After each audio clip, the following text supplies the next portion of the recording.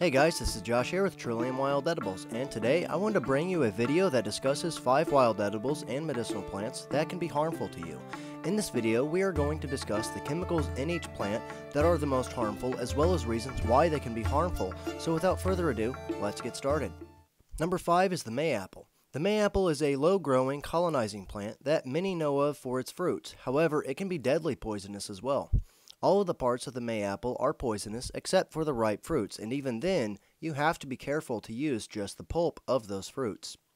The root is used medicinally but should be avoided unless you know exactly what you're doing with it.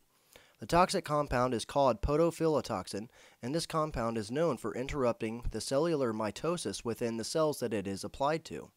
This can be beneficial in things like genital warts, but can also have a very devastating effect on healthy cells. It will also interrupt the uh, other activities of cells by inhibiting DNA synthesis. This causes the cells to no longer divide normally, which will cause the destruction of the affected tissue. Number 4 is wild lettuce. Wild lettuce is a common lawn and garden nuisance that has amazing medicinal properties from easing pain to helping its patients relax and to sleep better.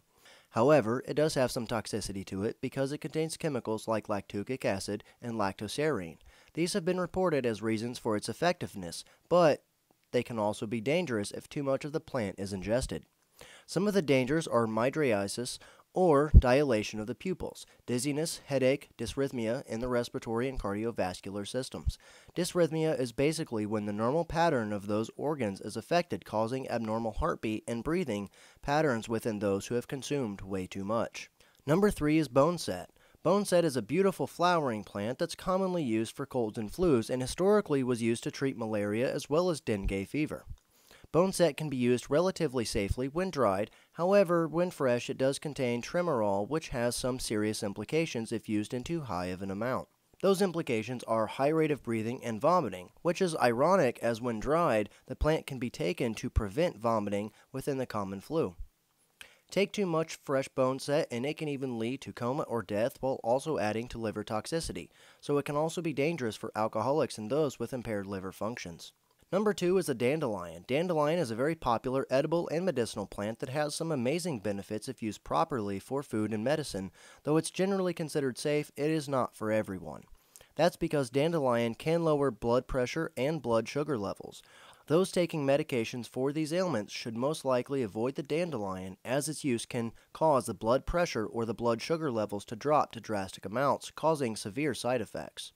The main chemicals in dandelion are taraxacin and taraxacerin, which is partly where the first part of its Latin name, taraxacum, actually comes from. Number one is pokeweed.